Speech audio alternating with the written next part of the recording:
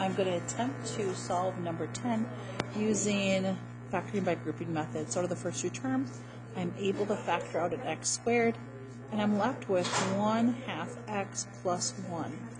Now I'm going to determine what value times 1 half equals negative 2. So half of what gives us negative 2? Negative 4. Half of negative 4 is negative 2, and there's an x, and negative 4 times 1 is negative 4. Both groups contain the quantity 1 half x plus 1 in front of the first group, in front of the second group.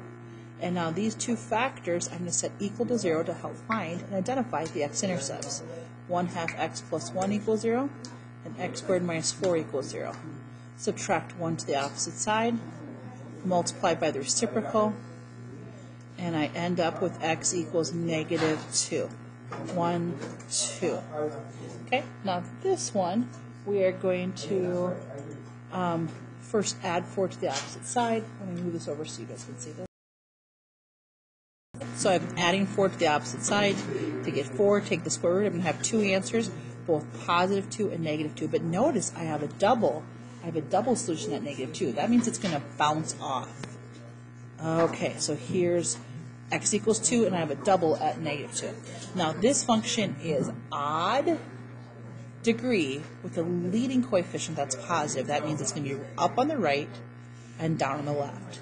So what would that look like? So it needs to bounce off this and go down on the right, up on the left.